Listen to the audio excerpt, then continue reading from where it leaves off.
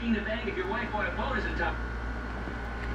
All right, we got uh, Incredible Hulk 102 here. This I didn't uh, pulled it out of the bag. I was looking at my reader's copy of the Incredible Hulk 102. I do have an upgraded copy. Yes, this is a CGC 7.0. Bought it for about $280.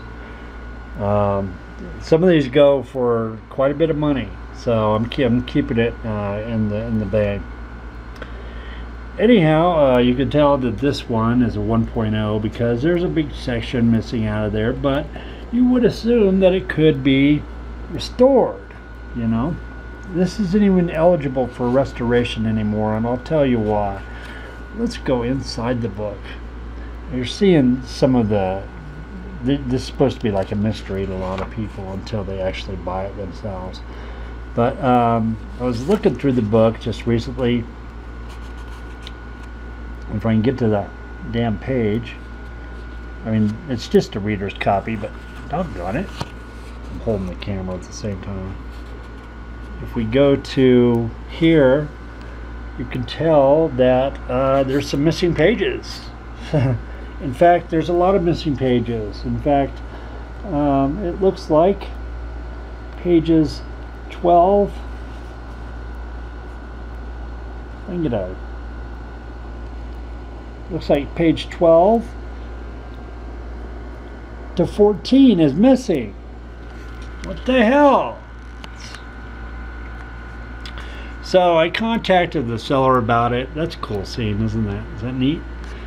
This is from actually from uh, 102. I have uh, Tales Astonish 101, 100, and I'm working on getting an entire run of Incredible Hulk. But this particular page, missing the pages missing here, uh, makes the book uh, absolutely worthless. Even though it is a reader's copy, beautiful cover. I love this cover. You know, Dr. Banner's changing back to himself. Look how big his fists are there compared to his body when he changes back. Um, but that missing piece there kind of uh, destroys the book, you know. Even though it's, you know, it should just be a reader's copy. And uh, now it's it's kind of like you know a mystery there of what the what's the inside. So I looked online to check and see what you know what the rest of the page was page was about, so I don't have to crack open this copy. Um, you know, good art by Herb Trimpe, who did uh, the the Hulk books for a while, and it seemed that his art got kind of progressively um, worse as it went along. I mean, if, if, you look at 154, his art looks way different than it did before. Um, let me see here. Marty Severin. Yeah, Marie Severin. I'm sorry. Severin did some good artwork. Uh, he did also did the Incredible Hulk uh, annual number one as well. But now the book is totally worthless, and uh, we're going to have to return it to the comic book bag because uh, even though it's in my collection, and I do have an upgrade, the book is uh, basically not worth anything now. It's just basically a reader's copy.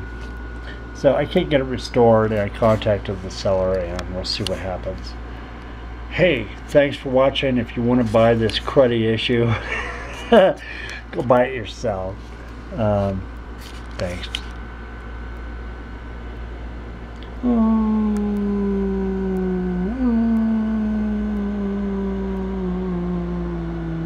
Poor Banner.